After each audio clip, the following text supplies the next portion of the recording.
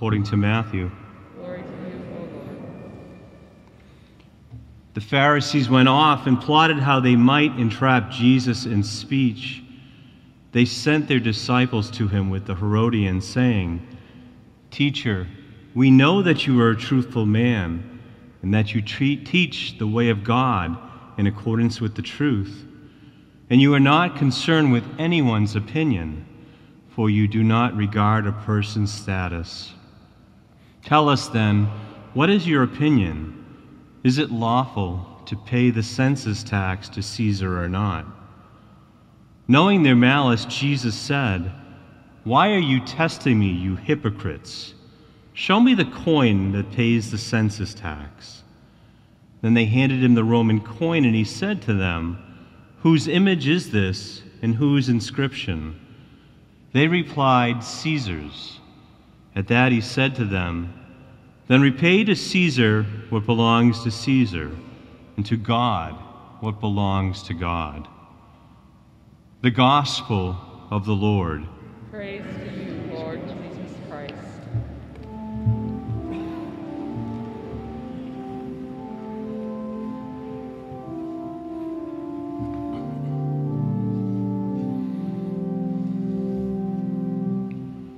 So, in today's Gospel, Jesus reminds his questioners that if they are so worried about paying taxes to the state, they should be much more concerned and careful about their service to God and their obligations to Him as Creator and Lord.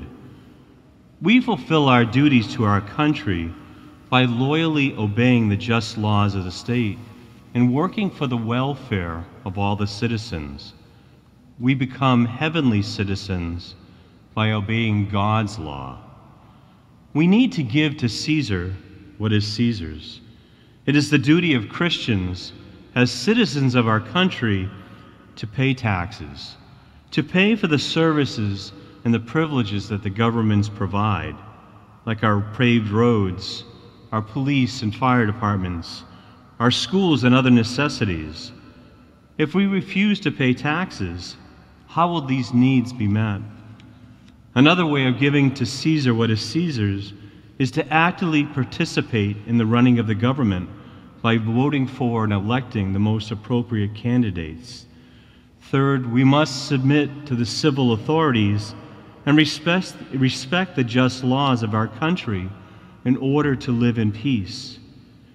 As loyal citizens, we must also see to it that our elected representatives are faithful in maintaining law and order in the country in promoting the welfare of all of its citizens without violating God's law. So you might think it's a good time to speak on political things, like our upcoming elections or the political and civil unrest in our country.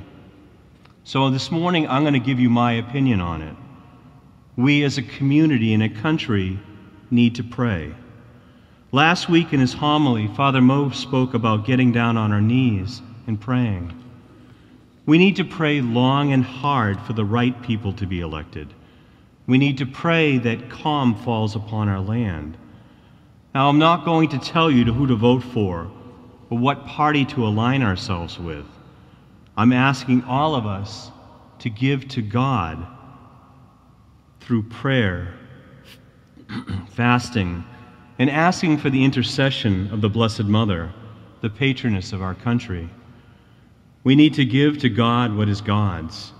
Since everything is His, we need to give ourselves to Him 100%, not just 10% on Sundays. We should be generously fulfilling our Sunday obligation, and we should find time every day for prayer and worship in our family, for the reading of scriptures, and the proper training of our children in faith and morals. Our contributions to our church should be an expression of our gratitude towards God, giving back to God all that He has given us. We need to be active in the various ministries of our parish. It is an offering to God of our time and talents, which is another way of giving God his due, our whole self. The common theme in today's readings is the nature of our obligations to God and to country. The readings show us that with God's help, we can be ideal citizens of both earth and heaven. Perhaps we can illustrate all this through the example of St. Thomas More, an English martyr who was counsel to King Henry VIII. King Henry VIII was married to Catherine, and seeking a male heir, he was also attracted to another woman, Anne. Henry appealed to Rome to have his marriage to Catherine annulled, but Rome refused. Henry then took matters into his own hands and declared himself head of the Church of England, and he married Anne.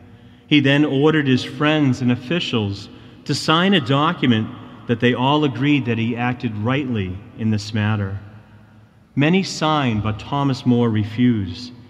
Henry demanded that he sign or face trial, arrest, and execution by the state. Thomas More refused. He knew he had two obligations one to God and one to his country. When they conflicted, St. Thomas More knew that he had no choice but remain faithful to his obligation to God. On his way to his public execution, he encouraged the people to remain steadfast in their faith. His last recorded words were, I die the king's good servant, but God's first. Today's gospel reminds us of our dual citizenship. We are citizens of the world and citizens of the heaven. We have an alliance, an allegiance, an obligation to each. We hope the obligations will never clash, but if they do, we must resolve them, as Thomas More did, without compromise to God or to our conscience. The Roman coin that was handed to Jesus was stamped with the image of Caesar. The human heart, which God created, is stamped with the image of God. We are made in the image and likeness of Him. Do we serve God or we serve Caesar? What should we do? What must I do be authentic, to be authentic and live the life that God has called us to do? We belong to God, whole and entire. This is why, when Jesus was asked, What is the greatest commandment? he answered, The first is this Hear, O Israel, the Lord our God is Lord alone. You shall love the Lord your God with all your heart, with all your soul, with all your mind, in all your strength. He's not talking about 10% or even 50. He said all we deserve to give God 100%. So, what is due to God? Everything. Since everything comes from Him, we ought to give everything back to Him. That is justice, plain and simple. So, we can ask ourselves this morning Am I ready and willing to give God everything? When Jesus demands of the Pharisees that they give to God what belongs to Him, he is also asking us the very same question. We ought to ask ourselves if we have given everything to him.